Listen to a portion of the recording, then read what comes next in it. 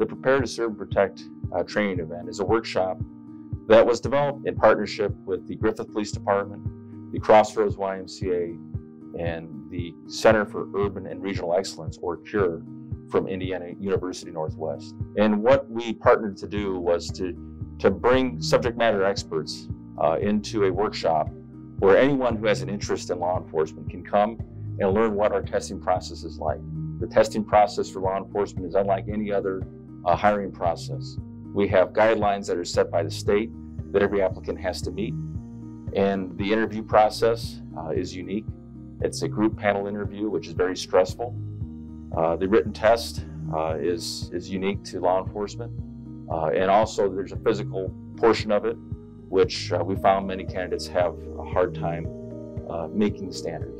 One of the ways that CURE and IUN helps is to design uh, a workshop and curriculum on the topic of written test taking. So, as we know, Many people can get very nervous when they approach uh, written exams, especially if you're trying to take an exam in an area which you're really passionate about and you know that doing well is going to make a difference in your career, right? So we want people to feel comfortable and know that this is this is something that they can do and do well in. And then we give them some very special tips, but you have to come to the workshop to, to get those tips on how to do well on the test. But it, it can be a matter of reading questions intentionally, making sure that you're um, comprehending, taking your time, taking a breath. Uh, so those practical skills, but we also have some other skills uh, that we want to share.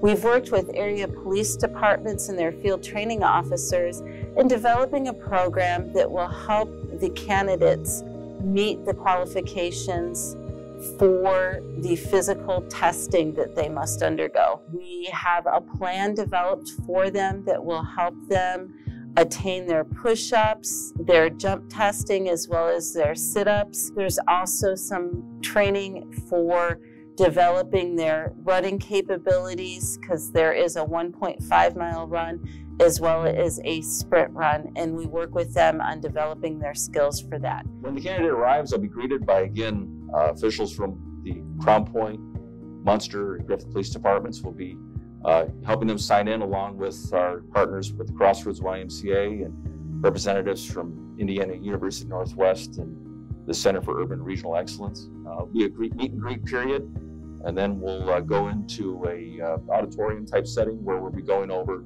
kind of what the day is going to be. We're going over some test taking tips, interview skills, and then from the interview skills, we'll be going into doing actual mock interviews. I think for me, this program helped me because I got more comfortable with the interview process, what to say, what not to say, and going through that process, acting as if it was real, and then receiving feedback. That definitely helped a lot. It, and it also gives you more of um, almost like comforting because you're you're, you're getting extra practice. I honestly have told a few of the officers that I work with now, I think if I had not attended this program, I don't know if I would have initially gotten hired because I feel like they got to know me a little bit. The Prepare to Serve and Protect workshop, uh, one of the, the avenues that we wanted to pursue was to, to bring more minority and female candidates into the testing process and have them succeed through that testing process. Through my career, I, I participated in the testing process, administering it, and we always saw the majority of the candidates that came through were white males. And obviously, what we all of our police departments want to reflect the community we serve. It's just a better way to police, better partnerships are formed through the community. Uh, so, one of the one of the objectives of the workshop was to uh, kind of demystify and welcome minorities and females into the testing process. Uh, what I did notice in my very first testing process was uh, oftentimes, you know, we had just a handful of minorities or females that, that applied to the, the, candidate workshop. And again, like I stated earlier, uh, the candidate might have just missed, you know, one or two push-ups, one or two sit-ups, or just didn't do very well on the written test or interview. And, and I knew they could have done better if they just had a little bit of coaching. So that's what this workshop uh, started with was the idea of how can we improve the opportunity for someone who might feel uh, not as welcomed as others to go through the testing process and to do better during their first time around. Back in 2015, I was part of the pilot program. Uh, even though with my background being an athlete, I knew that I had some I don't want to say physical limitations, but I had to work at some parts of it a little bit more than others. I like structure, I like to have direction. And this program set everything up for me, for example, the push ups that I knew I was going to struggle the most with.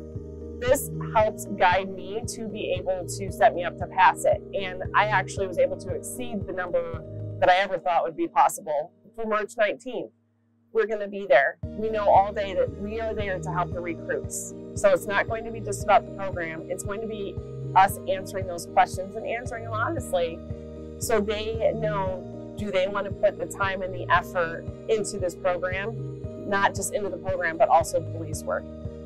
So it's a great way for them to be able to get the inside scoop on being a police officer. It's a community. It's not a one day deal it's a community that's going to continue to go with you throughout your entire career.